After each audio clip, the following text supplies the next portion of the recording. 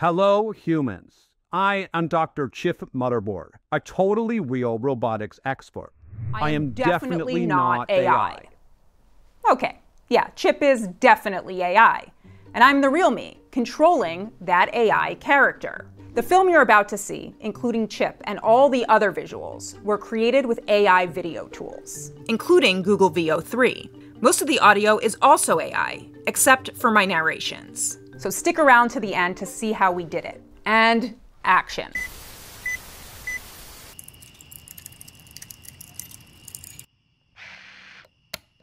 Rise and shine, Joanna. It's 6:15 a.m. It's going to be a great day. Uh, Oh, you'll feel better after a workout. I've sanitized your sports bra. Thank you.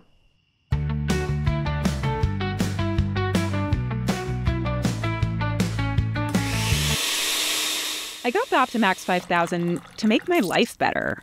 It has me waking up early, Here's a tasty breakfast. eating healthy. I'm working out harder than I ever thought I could. Remember, Jane Fonda always said, go for the burn, sweat.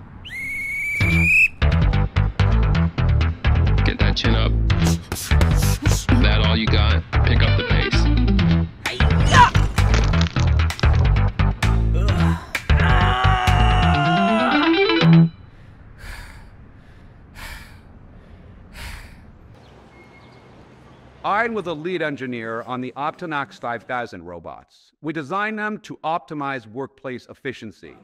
Here, some deep research for your presentation.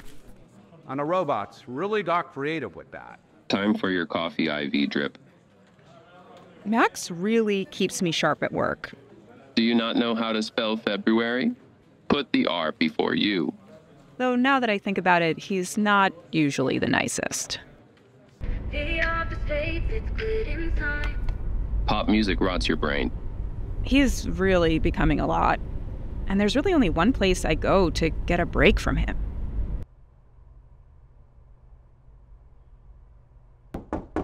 My privacy policy prevents bathroom entry. My ultra sensitive microphones indicate you are not engaged in elimination activities. Oh, Exhausting. And that's when I realized I had to do something.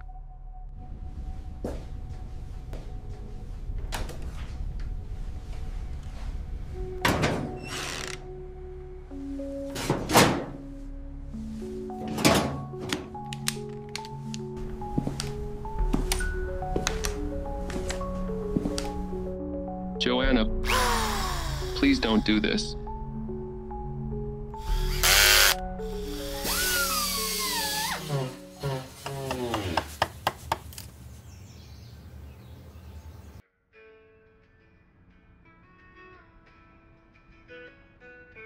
Sun creeps in through the window pane.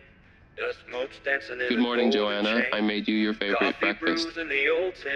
Now that's is the gift more like that it. Real me again. Not Botox me.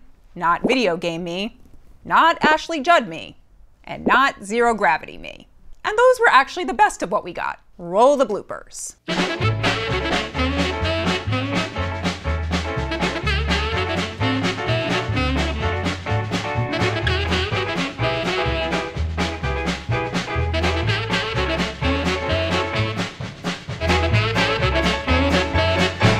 So, yeah, lots of issues. But we wanted to push the limits of AI video. We wanted to make a film with characters and humor and meaning, art even. Enter Jarrard Cole. Jarrard is a longtime video and audio producer. To get the consistency right, he generated approximately a thousand clips to make what you just watched. And after trying lots of AI video tools, we found Google Veo and Runway to be the best. Yes, in Veo or Runway, we could have typed in a woman and a robot working out and gotten something. And even though she looks exactly like me, with that simple technique, we wouldn't have been able to make those characters consistent in every scene.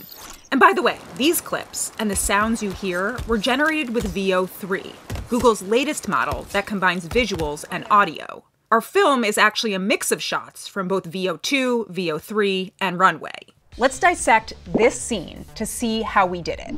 First, we had to create and gather our characters. We used Midjourney to design our star, Optimax 5000. It took a few iterations. To create me, we gathered some photos, and the neighborhood was made in Runway. Then we took these images of the characters and the background and put them into Runway's references tool and wrote a prompt describing the scene we wanted. Out came the first frame of the scene. Then we fed that image into Google Veo and wrote a new prompt to create the motion. And then we picked the best version that AI generated. For some shots that didn't have characters, like in our suspense scene at the end, we used text to video prompts in Veo 3. And if you're wondering how we made this handsome fella, we used an image generator to create our ideal mad scientist. Then I did my best impression of how I thought he'd gesture and sound like on camera. Design them to optimize workplace efficiency. And we uploaded the image and the video of me into Runway Restyle. Once we had the clips, we brought them into Adobe Premiere for editing and sound. Max's voice. And Chip's voice were generated in ElevenLabs. The AI audio tool lets you describe the voices you want or even clone your own. But I recorded my own character because ElevenLabs couldn't quite get my inflection right.